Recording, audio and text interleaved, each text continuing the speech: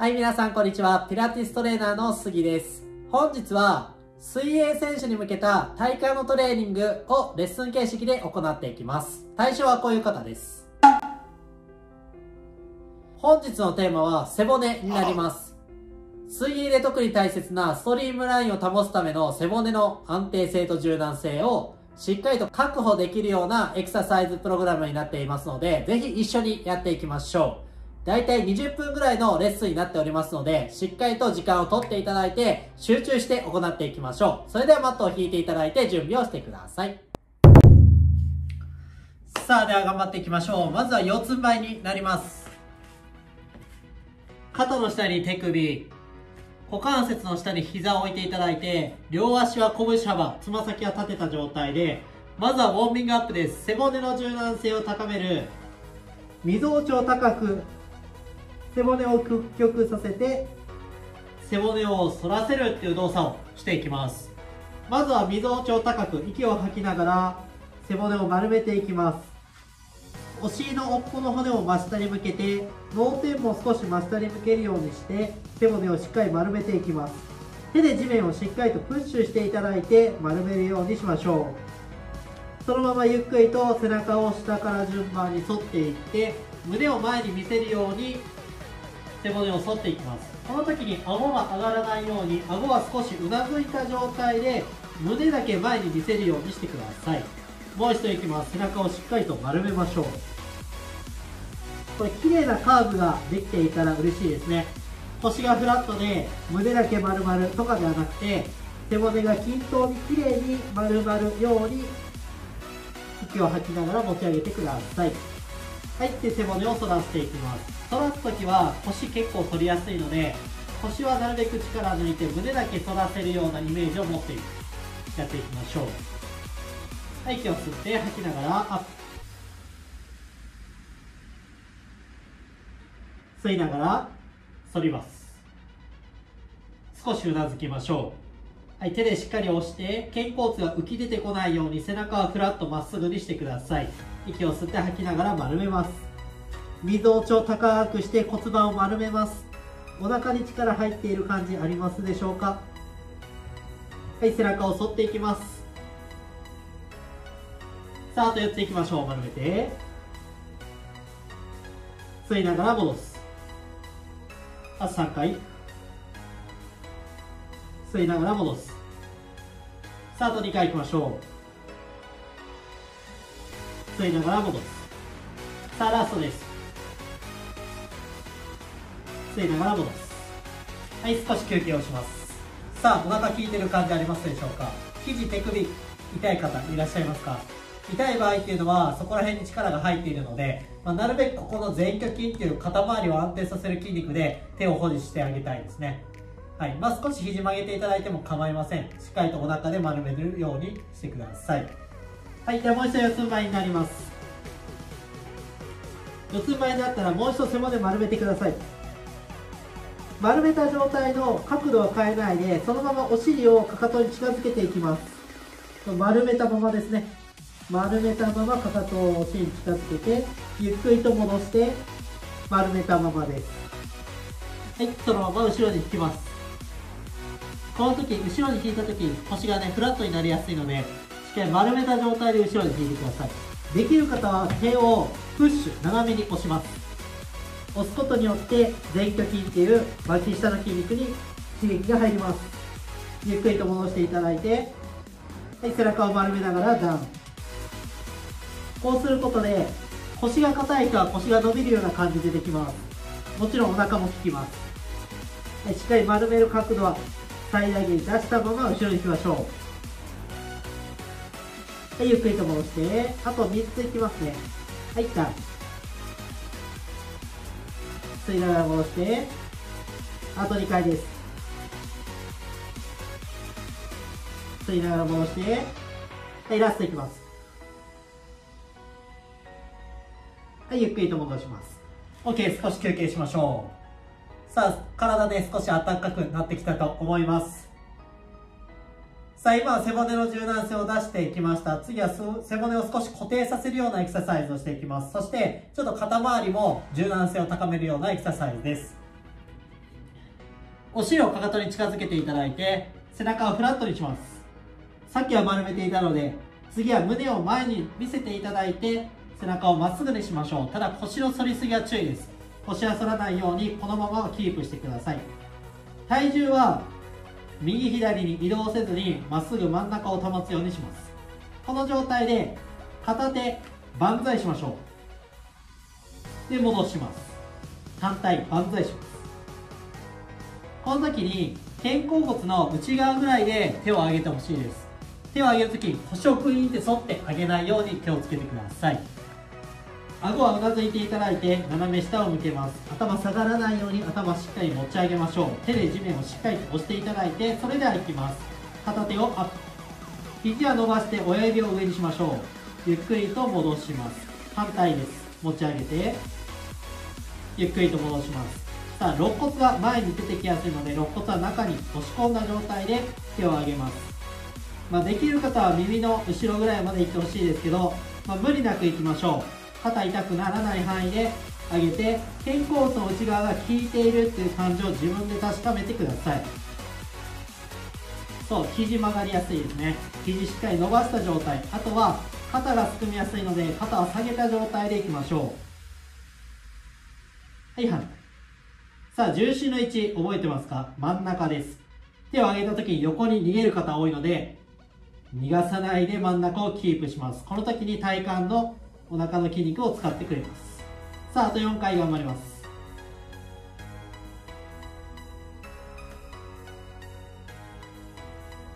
あと2回いきましょ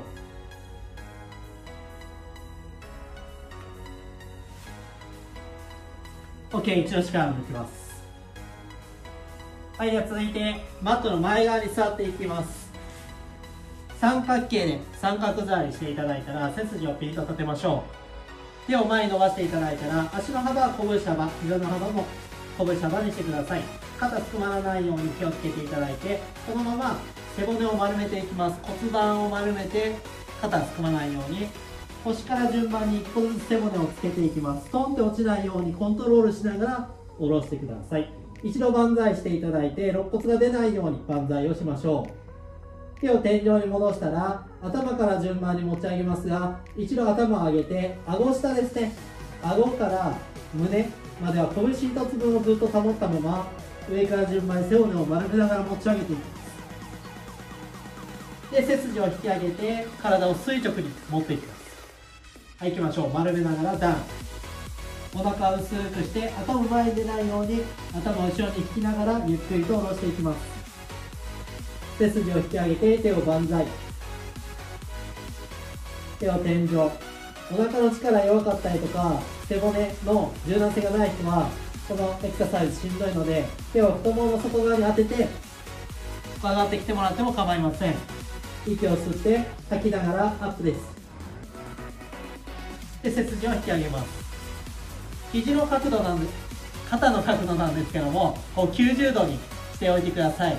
ずっとこれさ寝ていくと手が下がっていくので寝ている時も90度をキープしながら皆さんゆっくり下ろして頭を下ろします。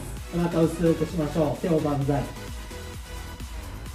手を戻して頭から順番に持ち上げます。股関節を使って背筋をぐっと引き上げます。頭脳天遠くに伸ばすように。天井から引っ張られているようなイメージを持ちます。はいダウンします。さあ頭前に出ないように気をつけながらゆっくりと腰から順番に下ろしていきます。そのまま手を万歳してさあお腹膨らんできやすいのでお腹少し薄くしたままいきましょう。上から順番息吐きながらアップです。1個ずつ背骨を感じて持ち上げます。背筋を引き上げましょう。さああと5回いきます吸って吐きながらダウン。スピードは一定のペースを保ったままいきましょう。手を万歳。天井に戻したら息を吸って吐きながらアップです。さあ回数重ねるにつれて結構大変になってきます。あと4回です。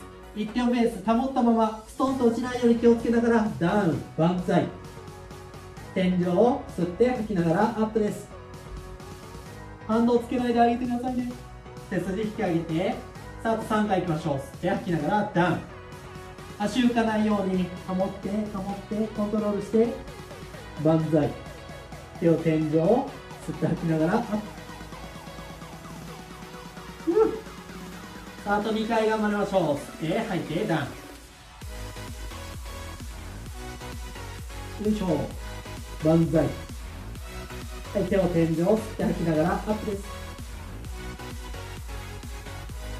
背筋を引き上げて。はいラストいきましょう。吸って吐いてダウン。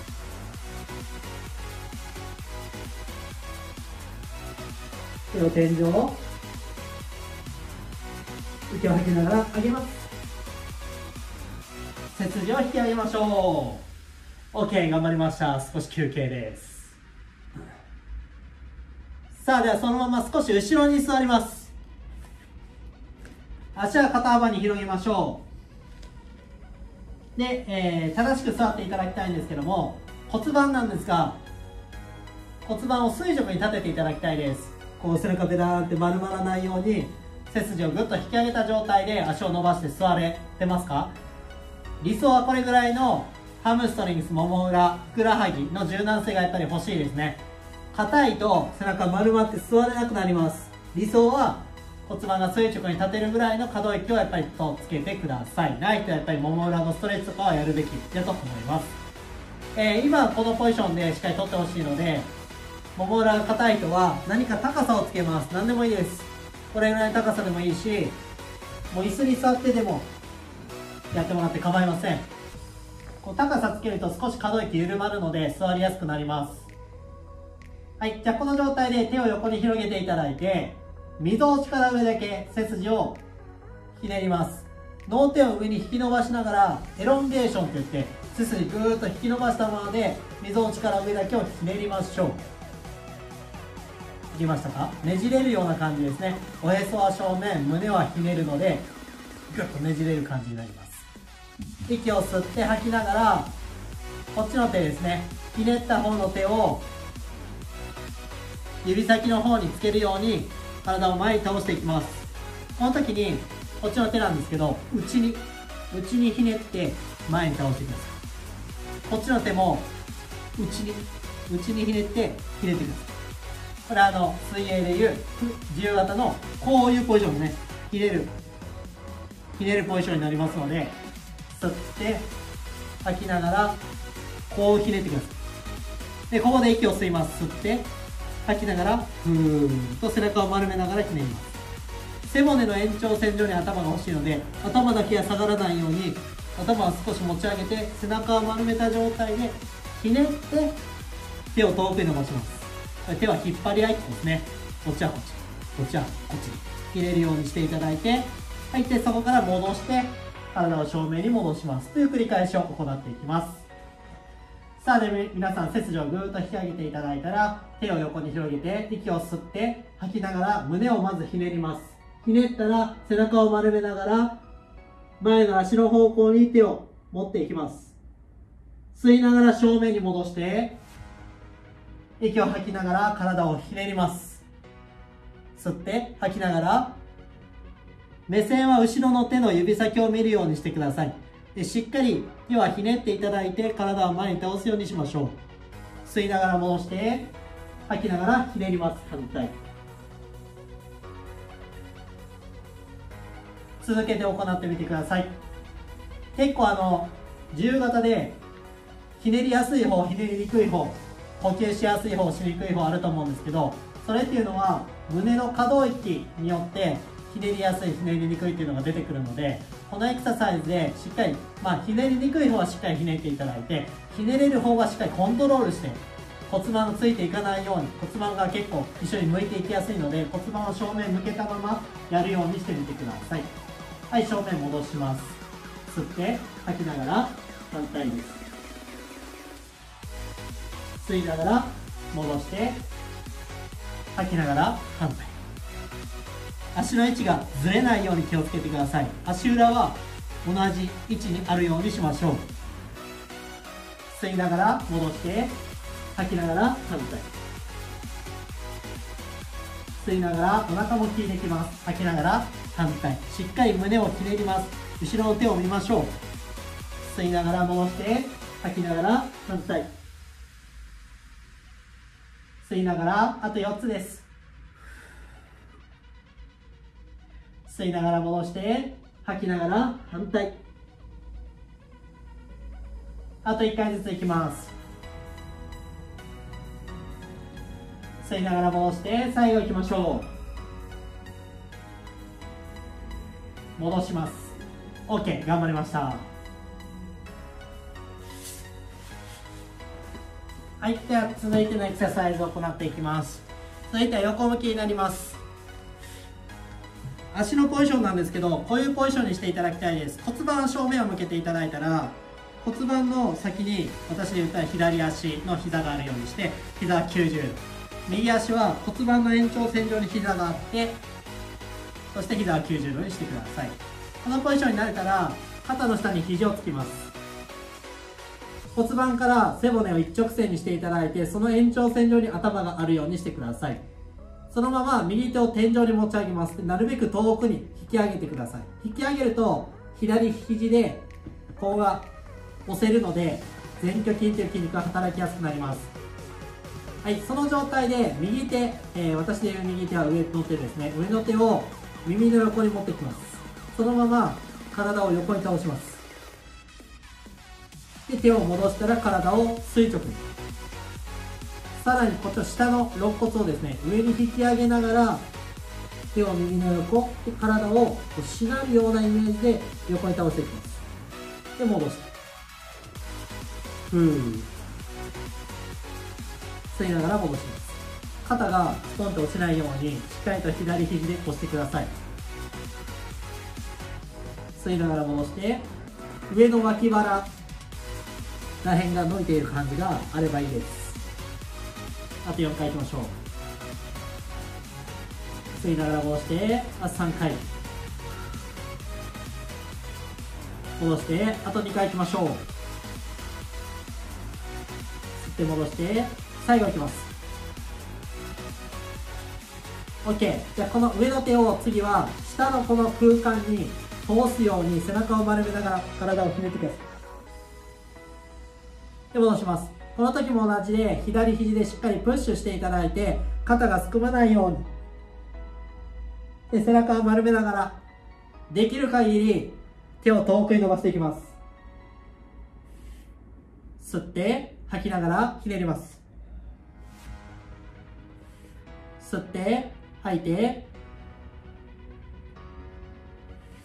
さああと4回いきましょう。はいあと3回。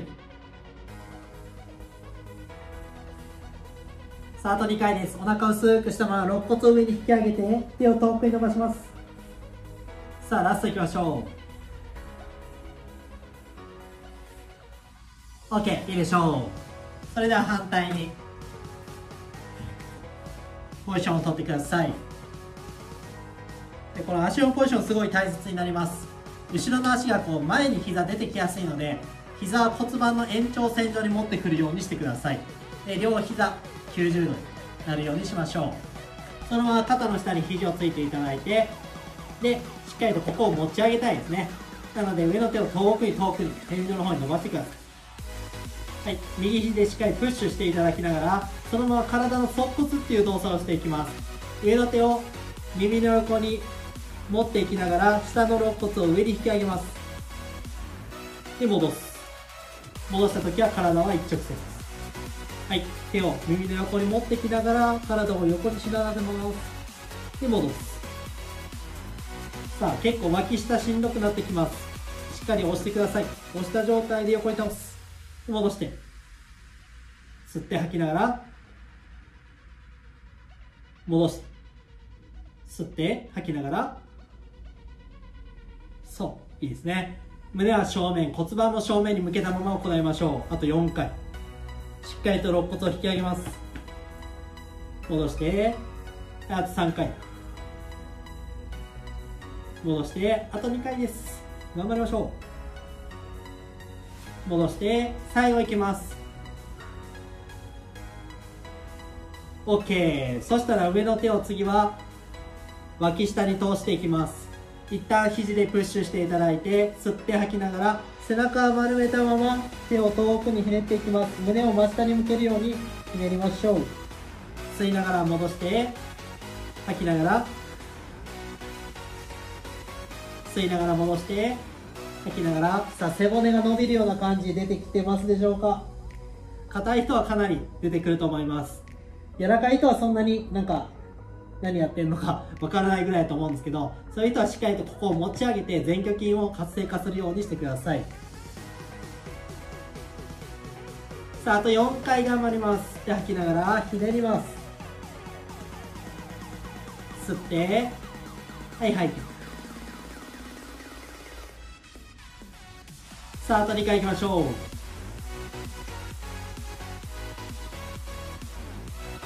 さあラストです。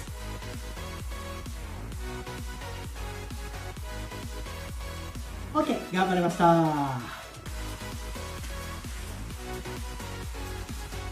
さあ終盤になってきましたが皆さんついてこれてますでしょうか？結構大変やと思いますが頑張っていきましょう。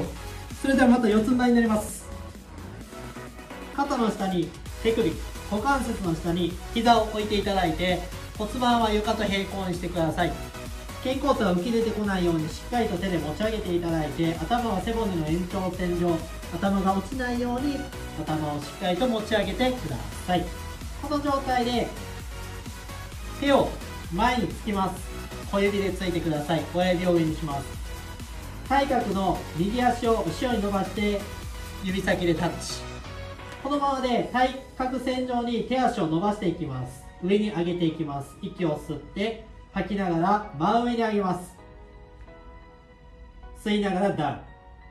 吐きながらアップ吸いながらダウン。さあ肘と膝が曲がらないように気をつけながらしっかり伸ばした状態で行いましょう。そして手を上げて手足を上げていくと腰が反りやすいのでお腹はしっかりと引き入れて腰が反らないように上げれる範囲で上げてください。なので上げることが目的ではないのでグイーンって腰を反らないようにだけ気をつけてください。お腹を薄くして腰は安定したポジションで手足を上げていくと足はお尻手は肩甲骨の内側ぐらいが働いてあげてくれると思います。結構やっぱり学生の人で多いのは背中めちゃめちゃ反って手足を上げようとしてしまうと腰を痛める可能性になってしまうので体幹は安定したポジションをキープしたまま手足を上げるようにしてみてください。OK 一旦反対いきましょう。で手と足なんですけど結構外に広がりやすいのでまっすぐ真上に上げるように足を外に広げずにまっすぐ上に上げるように意識しながら体幹キープで上げ下げをしてみてください。そうすると結構お尻が上げてる方は入ってくれます。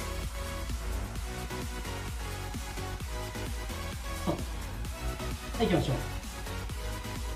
さああと4回頑張ります。1 2 3あと1回。4OK 一度休憩です。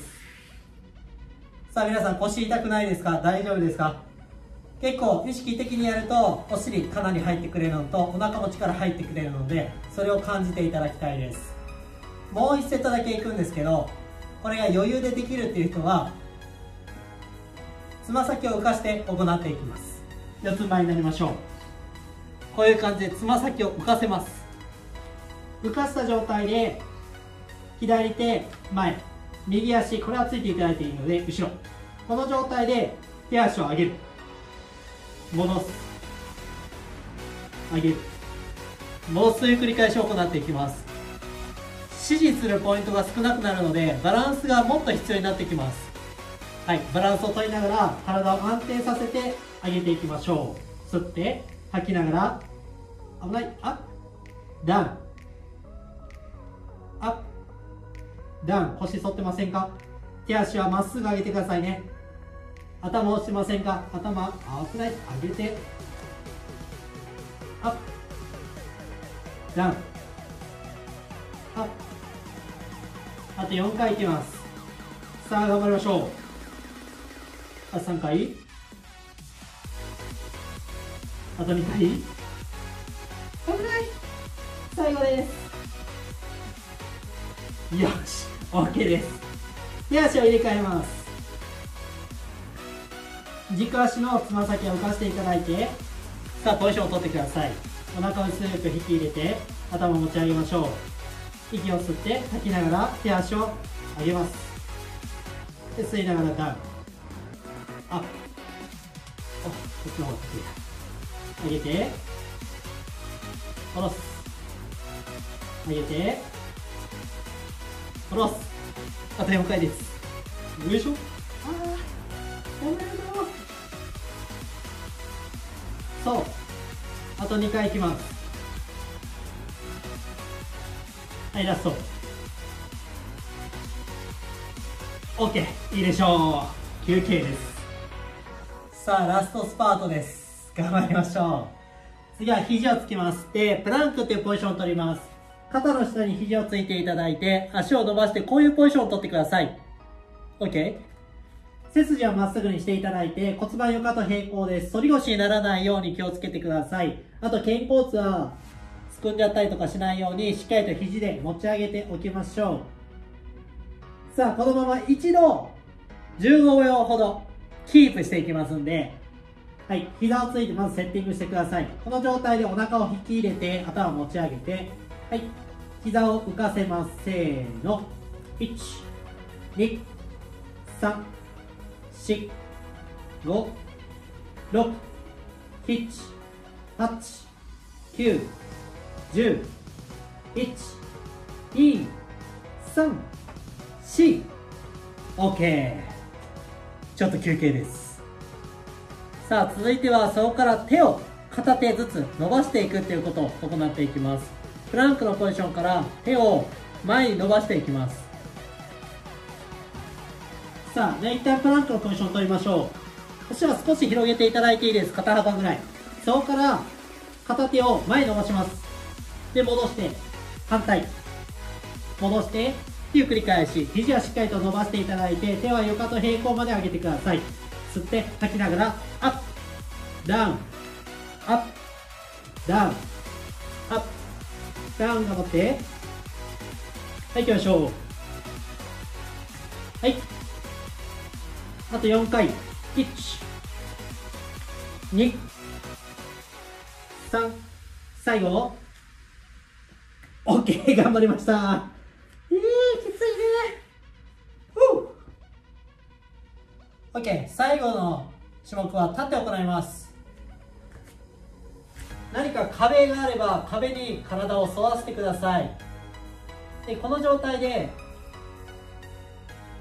壁側の足を持ち上げますで壁にくっつけてくださいで両手を前に伸ばしますで壁側の手はくっつけてください背筋を伸ばしていただいて膝をまっすぐピンと伸ばします。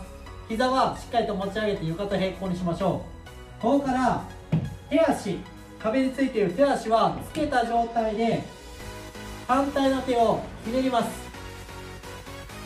で吸いながら戻します。はい。手足はちょっと押すようなイメージを持って離れないようにしましょう。吸って戻してはい吐きながらひねります。胸だけひねります。おへそは正面向けてください。吸って戻して。はい頑張りましょう。吸って戻して。さあ結構こっちのお尻が効いてくると思います。さあ頑張って。骨盤はなるべく正面を向けたまま。胸だけひねります。あと4回。あと3回。はい背筋伸ばして頭上から引っ張られているイメージでひねりましょう。ラス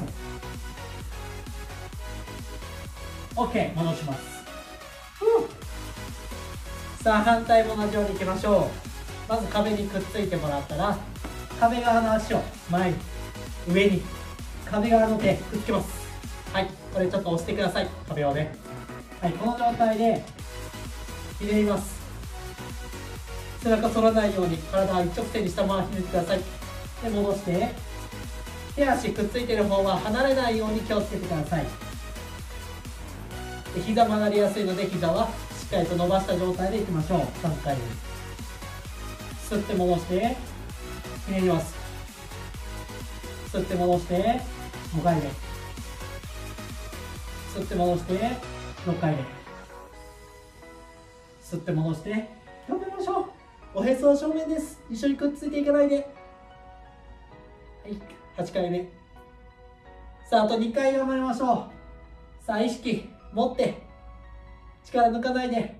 最後です。OK いいでしょう。頑張りました。はい皆さんお疲れ様でした。頑張りました。いや結構大変だったと思います。いろいろ動き出てきたと思うんですけどもまあできる限りでやってください。あんまりこう無茶してやりすぎると怪我する可能性が出てくるので自分がこう意識できるコントロールできる範囲でエクササイズを行うようにしてみてください。もちろん今日のエクササイズを全部安定させてできることがベストなので、えー、毎回この、え、大体ですね週に23回ぐらいこのエクササイズをしていただいて背骨を柔らかくそして安定を高めるようにしていきましょう。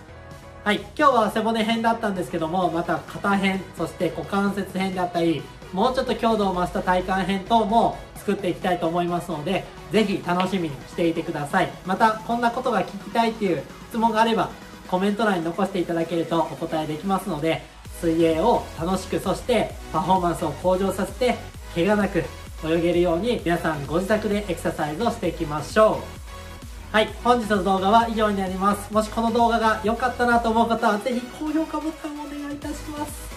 はいチャンネル登録まだの方はこちらにお願いいたします。そして、えー、最新の動画はこちらです。皆さんにおすすめの動画はこちらになっておりますのでぜひともに、えー、ご参照いただければなと思います。